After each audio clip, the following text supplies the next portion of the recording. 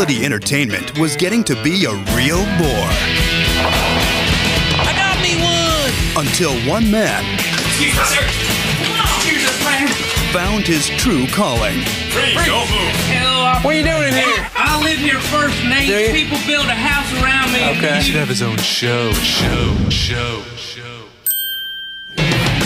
I'm gonna take you to Hollywood and build a TV show around you and your talent for getting arrested. I hope you don't mind becoming rich and famous. Hell no.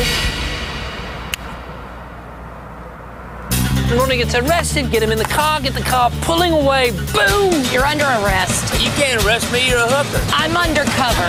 Well, then you shouldn't be hooking. Officer, he took my hair. there he goes, officer!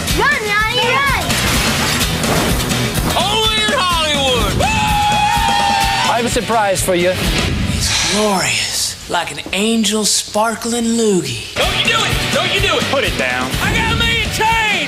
I'm chilling! Ah! Man, I know they talking about beer, but I can think of another pair I'd like to grab. Oh, New Line Home Entertainment presents Come on, dog. Eat that vomit. I'm sorry, that was an inappropriate scene to show here. the story of a nobody Let's have us a champagne jam. Yeah! who became somebody Got a beer in your pocket, or are you just happy to see me? Oh no, no, that's a hard on. you gave that to me. by offending everybody. This goat ate my shoes and my shirt and my hat and my wallet. Arrest this goat! Arrest him! Yellow. Ronnie, it's Terry. Oh, hang on, he's right here. Hey man, it's for you. Run, Ronnie, run. No, it's me on the phone. I'm on the phone.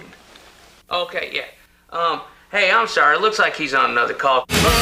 Run, Ronnie, run. Available on DVD and VHS September 16th.